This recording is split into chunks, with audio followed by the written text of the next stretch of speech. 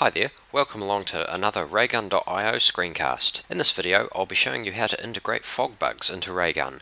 It's really easy and takes seconds.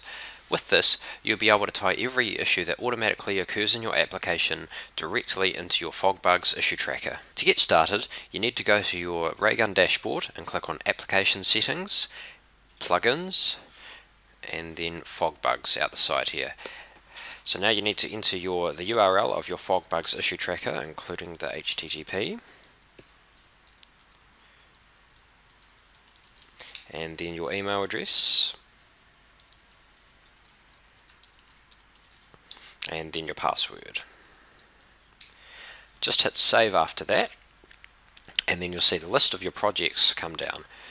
So we want to select one and then hit enabled and then save. And then you're done it'll light up blue when it's good. So now, uh, this is what the issue tracker just looks like uh, for the record.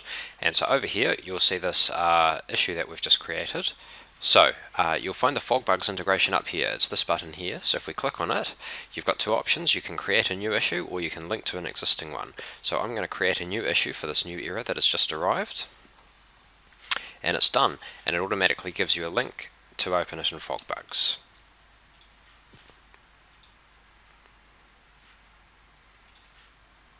And here it is.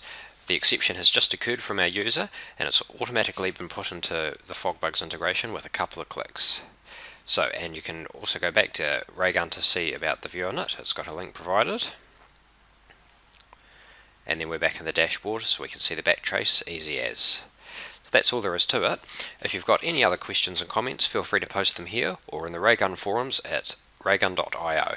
Thanks very much for watching.